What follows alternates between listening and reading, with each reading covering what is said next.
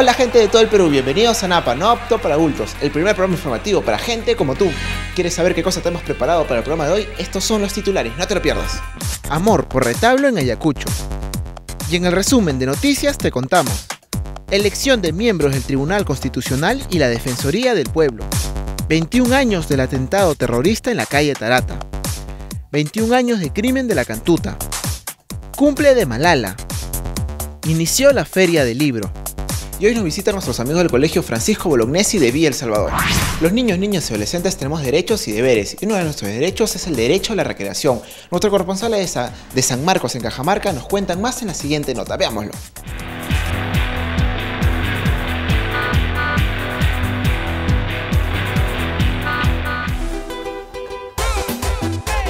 de Napa. Nosotros somos corresponsales de San Marcos, Cajamarca.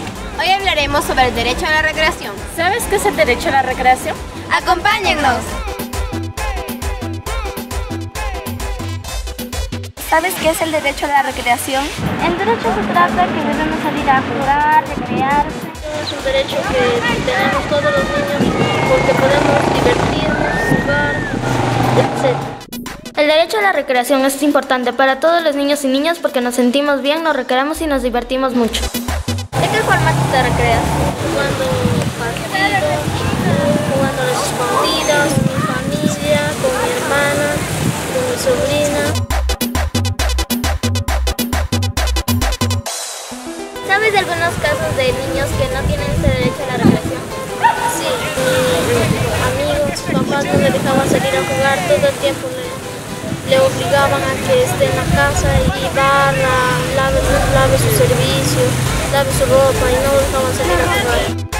Lamentablemente en nuestro país hay muchos niños y niñas que no disfrutan de su derecho a la recreación. Esperamos que las autoridades hagan algo para terminar con esto. Si tú fueras una autoridad, ¿qué harías por estos niños? Yo pondría una orden que se respete el derecho a la recreación y que todos los niños tengan un tiempo libre para que puedan recrearse.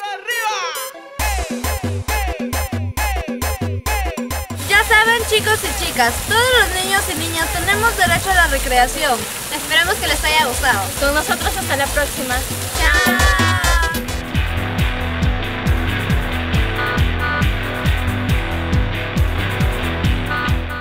Si quieres ver más videos que nos envían nuestros corresponsales de diversas partes del país, entra a nuestra página web que aparece en nuestras pantallas o también búscanos en Twitter y en Facebook donde tus comentarios serán bien recibidos. En Ayacucho, la Asociación Chirapac realiza desde hace un tiempo un taller bien chévere que se llama Taller de Afirmación Cultural Vivir y Crecer a través del Arte con el apoyo de Terre de Son Holanda. Con este taller muchos niños, niñas y adolescentes recuperan y reproducen el conocimiento tradicional de sus ancestros para que éste no se pierda. Conoce a Jimmy Carolina y su amor por el arte de su pueblo. Veámoslo.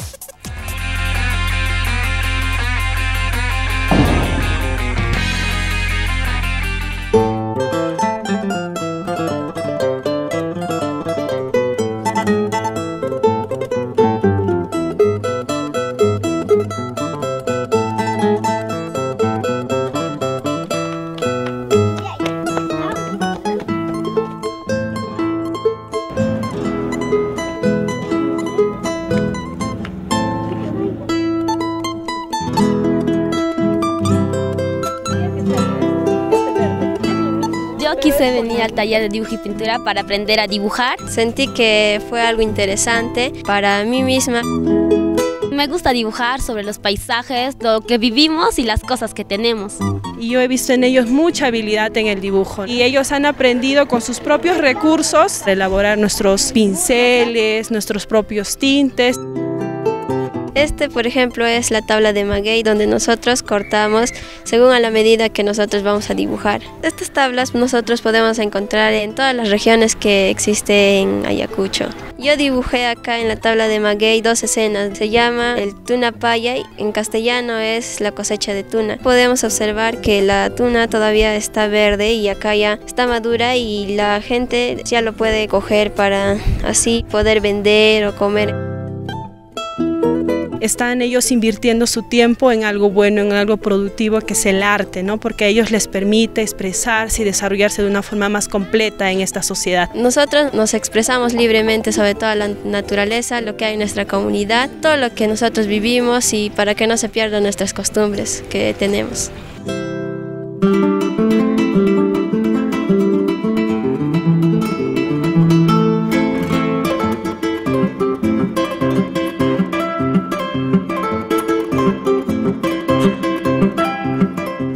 Tenemos que preparar la masa.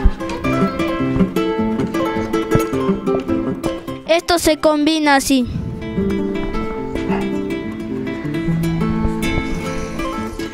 Esto quema. Una vez que ya está hecho liso, se pone al molde.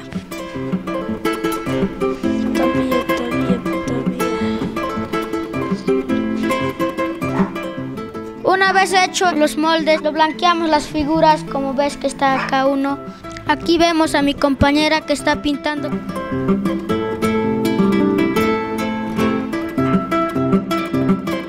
Aquí vemos un retablo acabado. En esta oportunidad estamos haciendo talleres de retablo. Enseñamos a valorar nuestra cultura, amar nuestra quechua y sobre todo representar las costumbres que más nos caracteriza a nuestra región de Ayacucho.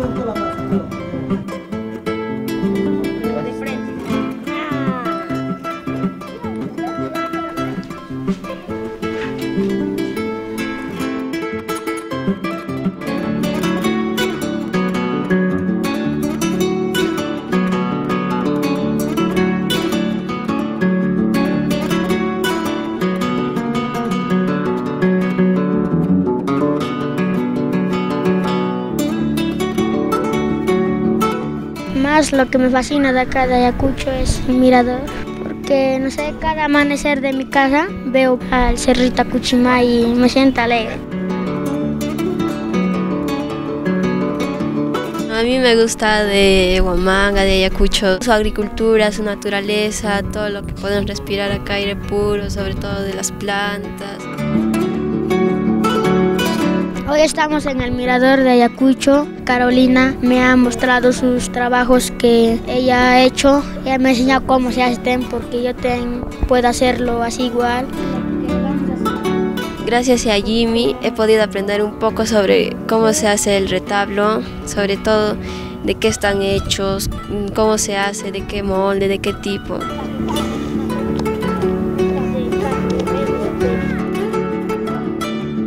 Yo diría que no se pierda los talleres como siguen enseñando acá en Huamanga, que sigan para que los demás niños también puedan tener oportunidades para poder así aprender y así no se pierdan las costumbres que hay en Ayacucho.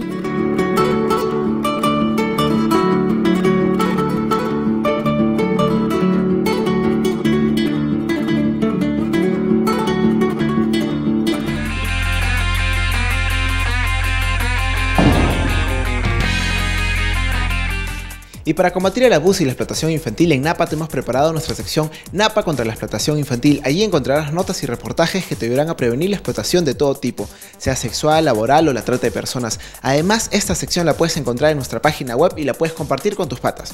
Vamos a una pausa y regresamos con nuestros invitados. Ya volvemos. Hola, mi nombre es Araí, vivo en Chorrillos, en Vista Alegre y les voy a contar lo que me llega. A mí me llega que el auxiliar nos pare por cosas innecesarias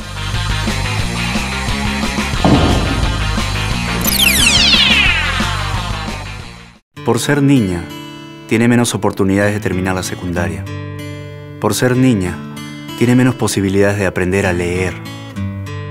Tus hermanas y amigas merecen una buena educación, ser respetadas como mujeres y tener información que prevenga un embarazo no deseado, para que así puedan cumplir sus sueños. Si apoyas a las niñas, estás contribuyendo a que se llenen de energía, de poder y que decidan sobre sus vidas. Apoya la campaña Por Ser Niña. Niñas empoderadas hoy, mujeres triunfadoras mañana.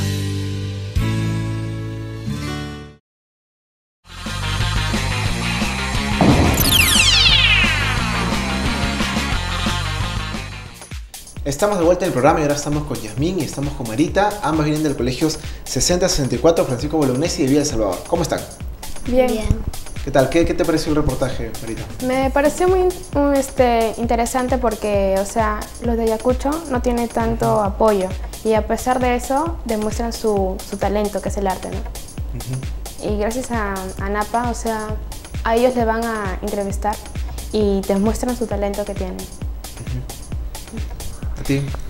A mí me pareció también muy bien porque ellos necesitan apoyo ya que están en un sitio donde no hay mucho apoyo y, y ellos, gracias al apoyo que le están dando, van a poder este, saber cuál es su don. Bueno, como hemos visto en el reportaje, de, de, lo que se trata también es de que ellos puedan desarrollarse libremente, ¿no? Pero este desarrollo a la vez eh, rescata su cultura, rescata su identidad, sus tradiciones, ¿no? ¿Qué, ¿Qué, les parece ese tipo de cosas a ustedes? ¿Creen que debería repetirse en los colegios quizás? ¿no? Claro, porque hay algunos que, o sea, tienen su talento pero no lo demuestran. O sea, porque no, o sea, no tienen apoyo. Mm, pienso igual que mi compañera. Ya. Pero a ustedes, no sé, quizás les gustaría en el colegio tener algún taller en la que puedan hacer ah, claro. algún, alguna de estas, de estas actividades, ¿no? Y, y, bueno, aparte del talento está un poco la voluntad de querer hacerlo, ¿no? Y de contribuir a que esto, este tipo de cosas, de costumbres, se sigan manteniendo en el tiempo. Sí, claro.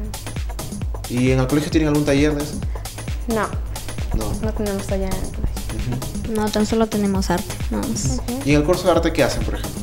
O sea, no hacemos este hacemos sobre por ejemplo hacemos no o sea no como ellos no o sea parecido hacemos sobre hacemos con las yemas de los dedos o sea pero no no tanto como ellos que tienen pero no sí hacemos dibujos nos enseña a dibujar a colorear a hacer este otras cosas que nosotros no sabíamos y, y cuando hace música quizás danza algo de Claro, porque nosotros tenemos festidanza, pero que es una vez al año nada más. Pero no, no llevamos este ni danza, ni música, nada de eso, solamente la festidanza que llevamos. ¿Y ustedes este, les gustaría que, por ejemplo, este tipo de cosas se repliquen en el colegio? Claro. Sí, también. Será muy bueno. ¿Qué cosa le dirían ustedes, por ejemplo, a estos chicos? ¿Qué cosa le dirían si estuvieran delante de ellos a, a los que estuvieron, los, los que fueron personajes del reportaje y uno que, que está aprendiendo, que ya sabe hacer este, la cuestión de los retablos y la otra que sabe hacer los dibujos grabados, los dibujos en esta este, madera especial, ¿no? Que no dejen su talento, que sigan adelante y que ellos pueden más. Uh -huh. Que sigan, que aprovechen la oportunidad para que puedan mejorar. Bueno, y que eh, de todos modos entendamos que este tipo de cosas, además de contribuir al desarrollo libre de cada, cada niño, cada adolescente, además contribuye a que sus costumbres, las tradiciones se sigan manteniendo en el tiempo. Ahora vamos a dejar que nuestra amiga Saraí nos cuente qué cosa es lo que le llega.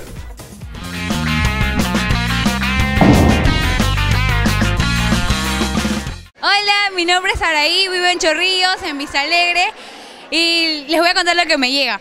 A mí me llega que el auxiliar nos pare por cosas innecesarias cuando entramos al colegio. Por ejemplo, por tener las uñas largas, pero limpias. Y por tener la falda corta. Creo que, que eso sí se debería de permitir y no hacemos ninguna falta haciendo eso. Que el auxiliar nos pare por cualquier cosa e innecesarias. Eso a mí me llega.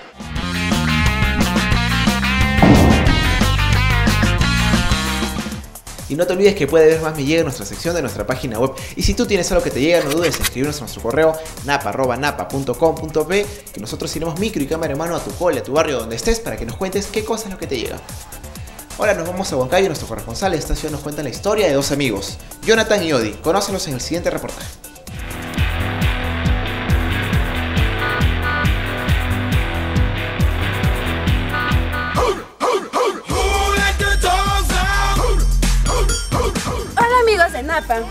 Somos corresponsales de Huancayo. Nos encontramos en el Cerrito de la Libertad. Oye Luis, ¿te gustan los animales? Sí, me encantan. Entonces, hoy vamos a tratar sobre la historia de Jonathan y su mascota Odie. ¡Acompáñanos! Vamos.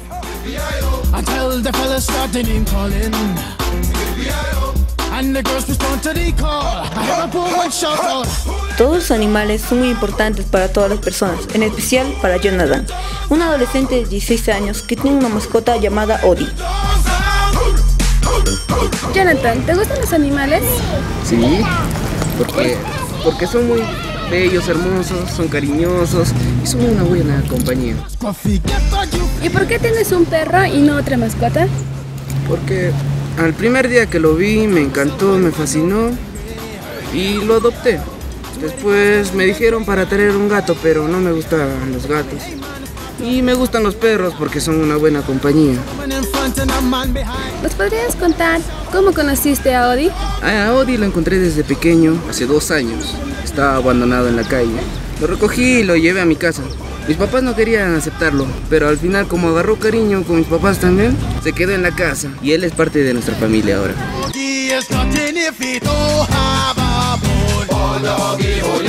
Odi para mí es el mejor amigo porque me acompaña a todos lados y cuando estoy solo, él siempre está conmigo, acompañándome y es mi mejor amigo, por eso lo quiero. ¿Y en qué te ha ayudado a tener una mascota? Me ha ayudado mucho, porque ahora me he vuelto más responsable, eh, ahora tengo que poner mi horario exacto justo para pasearlo, estudiar y hacer diferentes cosas. ¿Qué recomendaciones podrías dar a las personas que van a tener o comprarse una mascota? Deben saber que los perros son mucha responsabilidad porque tienen que cuidarlos, alimentarlos, eh, bañarlos, darles higiene, pasearlos, hacerlos feliz. En nuestra sociedad existe mucho maltrato a los animales. Es bueno que haya personas como Jonathan que cuidan y quieren a sus mascotas, porque más que una mascota es tu fiel compañero. Ahora entiendo cuán importante es tener una mascota como Odi. Sí, es muy importante porque te hace compañía y te desestresas de algunos problemas o te quita algunos problemas que vienen de casa. Es una muy buena compañía. Claro, ahora sé lo muy importante es que tener una mascota. Entonces yo también me compraré una mascota como Odi. Vamos, sigamos paseando. Vamos. Espero que les haya gustado la historia de Jonathan y Odi. Y si ven perros deambulando por la calle, adóptenlos. Cuídalos y protéjanlos. Adiós.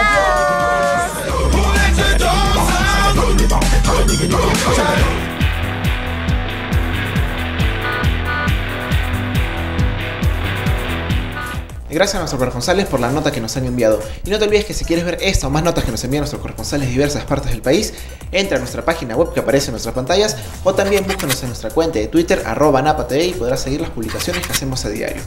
Muchas gracias a mí, muchas gracias, Marita. Gracias a ustedes. Muchas gracias por haber estado con nosotros. Vamos a una pausa y regresamos con más.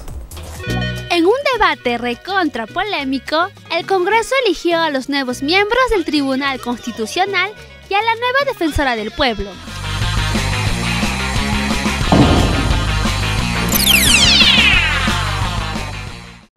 Por ser niña, sus posibilidades de ser escuchada son menores.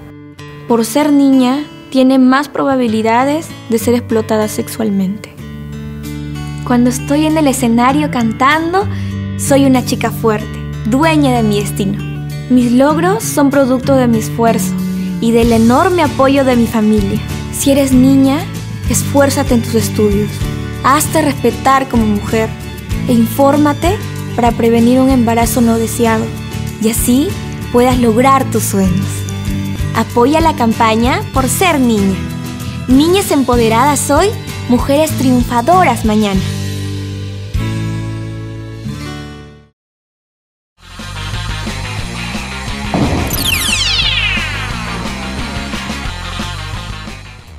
Estamos de vuelta en el programa, pero antes de ver nuestro resumen de noticias, vamos a ver un video donde Christine Lumber de Save the Children nos cuenta en qué consiste su charla. Hola amigos de NAPA, ahora estamos con Christine Lumberg. Ella es responsable de gobernabilidad y los derechos de los niños, niñas y adolescentes de Save the Children Suecia. ¿Cómo estás, Christine? Muy bien, muchas gracias. Cuéntanos, empiézanos contándonos qué es Save the Children. Save the Children es una organización internacional que trabaja por los derechos del niño en todos los países del mundo para que los niños tengan derecho a participar, que las, los gobiernos en el mundo cumplan con sus obligaciones hacia los niños. Estos días has estado por el Perú. Cuéntanos cuál ha sido el motivo de tu visita. Estamos trabajando en el Perú apoyando proyectos, programas desde hace muchos años y ahora estoy aquí para conocer un poco más de cerca la realidad del Perú, de los niños, de, niños niñas y adolescentes del Perú y para conocer más de cerca nuestro personal y el trabajo que se está haciendo. Y se está haciendo un trabajo muy importante y el Perú es un, eh, un ejemplo para muchos otros países del mundo realmente en cómo se hace participar a los niños en diferentes partes de la sociedad. ¿Por qué la importancia de la, participación de los niños justo ahora que, mencionas?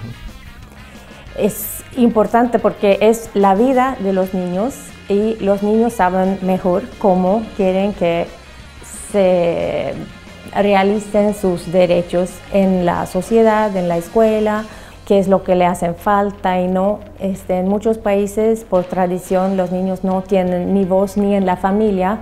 Este, pensamos que esto no es eh, como debe ser. Los niños, aunque sean pequeños, tienen opiniones, saben lo que es bueno y malo. En otros países del mundo no hay tanta eh, riqueza de organizaciones, entonces por eso pienso que aquí hay una riqueza que estamos intentando rescatar también y mostrar ejemplos hacia otros países cómo se puede hacer. Qué gusto que estés por acá y bueno, nuevamente felicitaciones, esperamos que te haya gustado el programa, nos has estado, has estado al tanto de la, grabación que, es, que hicimos el día de hoy. Muchas gracias y felicidades.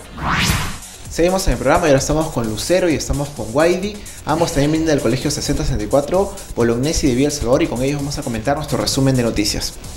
Esta semana el Congreso eligió a los miembros del Tribunal Constitucional y al, nuevo defensor del pueblo. Entrate esto y más en el siguiente resumen de noticias.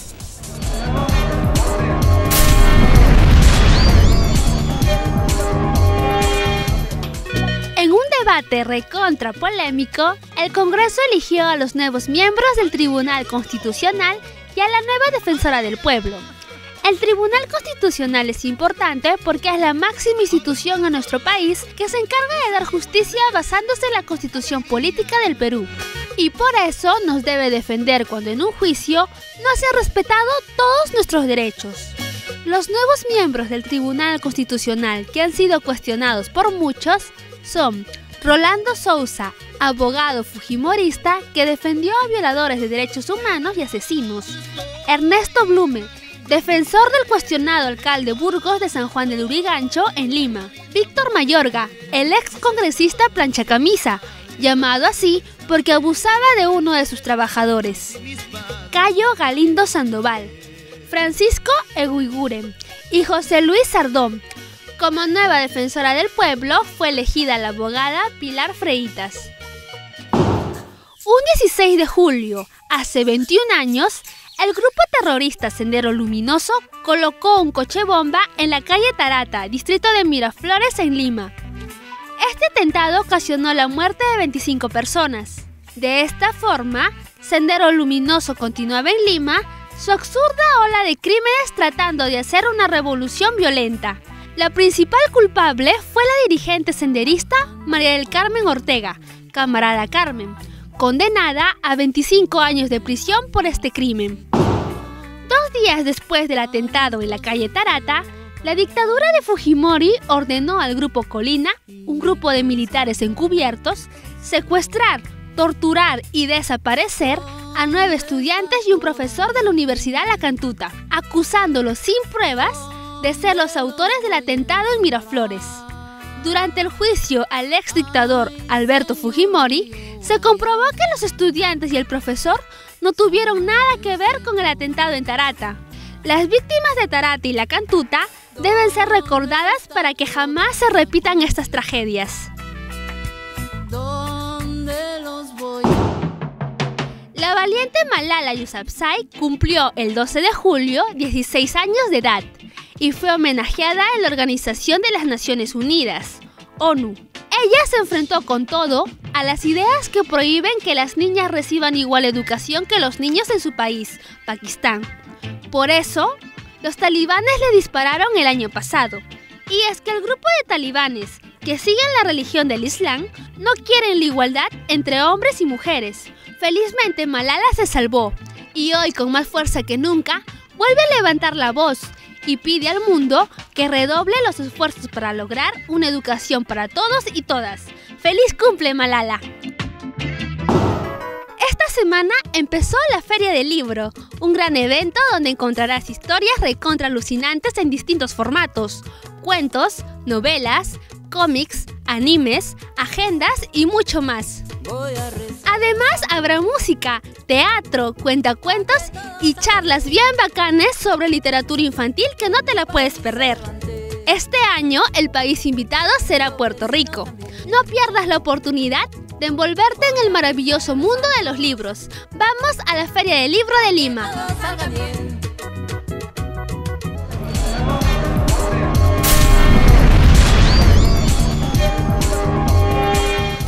Seguimos en el programa y ahora vamos a comentar nuestro resumen de noticias. ¿Qué noticia quieres comentar hoy? Sobre el atentado terrorista. Eh, no sé por qué pusieron el coche bomba, no, no veo el motivo y murieron mucha, mucha gente inocente, claro, y no sé, ojalá que no se vuelva a repetir el, el atentado. Y yo creo que, o sea, que, que, está, que no está bien, que o sea, deberían pensar en otra manera de dialogar y no con violencia creer que van a funcionar las cosas y que vaya a cambiar algo. Sin, en vez de apoyar, tratar de convencer de distintas maneras para haber un cierto diálogo y no, no a la violencia. Y principalmente no olvidar, ¿no? Para que ese tipo de cosas no se vuelvan a repetir eh, en adelante, ¿no? Otras noticias que hemos visto es que en el Congreso se ha elegido en estos días a los nuevos miembros del Tribunal Constitucional y a la nueva defensora del pueblo. Y esto obviamente ha tenido muy, un, tremendo escándalo porque ha sido como las agrupaciones dentro del Congreso se han puesto de acuerdo para repartirse lo, los puestos y los cupos dentro de cada dentro del Tribunal Constitucional y dentro de, la Defensoría. ¿Qué les parece a ustedes? Me parece mal porque en cierta parte no han tenido en cuenta que los las malas, ¿cómo se podría decir? Lo mal hecho, o sea, que han hecho en repartirse los puestos y el mal proceder de estos, de algunos de los que han escogido para hacer ciertos cargos. Y además que muchos de ellos están... Con malos antecedentes. Con malos antecedentes, ¿no? Han sido defensores de, de, de grupos de como, como el grupo Colina, que ha sido claro. violador de los derechos humanos, ¿no? ¿Tú crees que debería haber mayor eh, filtro para que no, no terminen entrando claro. gente que esté involucrada en hechos más bien que son que, que, que merecen una tacha, ¿no? Sí. Y otra de las cosas que hemos visto en nuestro resumen es que también la Feria del Libro de Lima ya empezó. ¿Qué les parece a ustedes? Sí, bien, porque a, a, bueno, a mí en mi parte me encantan los libros. Eh, me gustaría ir para ver en qué cierta parte nos pueden ayudar. Con lo, los, li los libros son buenos porque, en fin, nos ayudan bastante con varias, con varias cosas que nosotros no sabemos y nos podemos llegar a enterar más. Bueno, a mí también esa parte me gusta porque a mí también los libros me encantan. En, en, en excepción, este, los libros, ¿cómo te puedo decir? La literatura es de... Y ahí, sí, me parece interesante que, que haya una feria de, de libros, ¿no? Que, y ojalá que lo aprovechen. Y sería interesante también que este tipo de ferias puedan haber en diferentes otros espacios, en diferentes distritos, ¿no? Para que eh, se haga un poco más fácil el acceso a, a este tipo de, de mercados, este tipo de venta de libros. Bueno, este, ustedes tampoco no se olviden que pueden encontrar más de 1700 historias preparadas especialmente para ti en nuestra página web www.napa.com.p y además también nos puedes buscar en nuestro canal de YouTube que aparece en nuestras pantallas y búsquenos en el Twitter y en el Facebook donde tus comentarios serán bien recibidos. Y hemos llegado a la parte final de nuestro programa. Muchas gracias a nuestros cuatro invitados que han estado con nosotros el día de hoy. Muchas gracias Marita, muchas gracias eh, muchas gracias Yasmín, muchas gracias Lucero. Bueno, gracias por la invitación y espero que se vuelva a repetir y, y mando unos saludos en especial a Francisco Bolognesi y al tercero D. Bueno, los cuatro son, vienen del Colegio Francisco Bolognesi 6064 de Villa El Salvador y han estado en otra oportunidad con nosotros, esperamos nuevamente tenerlos. Bueno, muy, nuevamente muchas gracias. Un saludo también especial a nuestros amigos en Lima Sur que nos ven a través de Cable Más TV. Nos vemos en el próximo No Apto para Adultos. Hasta la próxima.